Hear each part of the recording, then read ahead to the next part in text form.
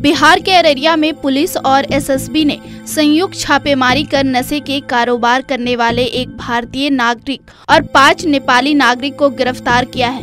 उनकी गिरफ्तारी भारत नेपाल सीमा के समीप बसे बौका मजरक गाँव के वार्ड नंबर एक से हुई है। एसपी अशोक कुमार सिंह ने मामले की जानकारी देते हुए बताया कि गिरफ्तारी एक भारतीय नागरिक नशा कारोबारी है, जबकि अन्य पाँच नेपाली नशा का सेवन करने के लिए नशा कारोबारी के पास आए थे।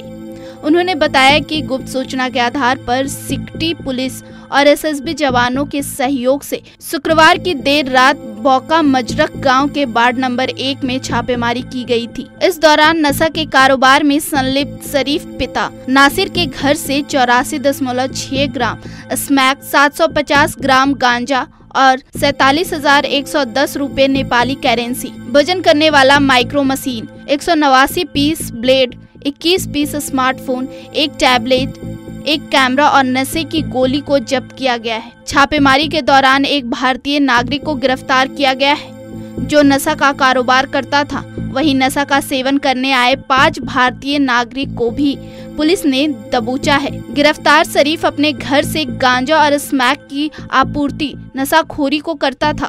इसके बदले उनसे मोटी रकम वसूली जाती थी। एसपी ने बताया कि इसको लेकर सिकटी थाना में एनडीपीएस एक्ट के तहत मामला दर्ज किया गया है। मामले में आगे की कार्रवाई की जा रही है। कल दिनांक 9 बारह बाईस को समय करीब आठ पचास बजे प्रातः गुप्त गुप्त सूचना थी कि मजरख गाँव में मोहम्मद शरीफ, जो सिट्टी थाना अंतर्गत गाँव है मजरख वहाँ मोहम्मद शरीफ के घर में नशीले पदार्थों की बिक्री होने वाली है, जहाँ पे नेपाल और उसके आसपास के स्थानीय लोग आकर नशीले पदार्थों का सेवन भी करते हैं।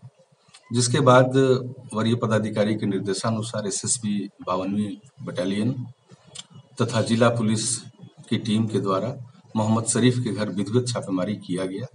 छापामारी के क्रम में मोहम्मद शरीफ के घर में बैठे छह लोग भागने का प्रयास किया, जिससे टीम के सदस्यों के द्वारा, सशस्त्र बलों के द्वारा उसे पकड़ लिया गया। तलाशी लेने पे मोहम्मद शरीफ के पास चौरासी पॉइंट छः ग्राम ब्राउन शुगर स्मैक, बयालीस सौ नेपाली रुपए बरामद हुए। अन्य पाँच अभियुक्तों के पास इक्कीस मोबाइल फ़ोन, एक टैबलेट, सैतालीस हज़ार एक सौ दस नेपाली करेंसी स्मैक वज़न करने वाला एक मशीन, कुछ ब्लेड के पीसेस, गांजा सात पॉइंट पचास ग्राम, एवं अन्य सामान बरामद किया गया, जिसे विधिवत जब्त किया गया।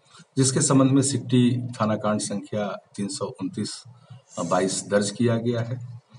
गिरफ़्तार अभियुक्त मोहम्मद शरीफ हैं, दूसरे शेष नारायण राजवंशी हैं, तीसरे रोशन राजवंशी हैं, चौथे संतोष परिहार हैं, पाँचवें आशिम उर्फ़ अनीश हैं छठे अक्षय डोम हैं।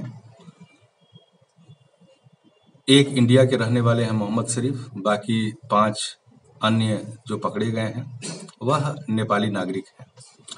बरामदगी ब्राउन शुगर या स्मैक चौरासी पॉइंट छः ग्राम है, सैतालीस हज़ार एक सौ दस रुपये नेपाली करेंसी है।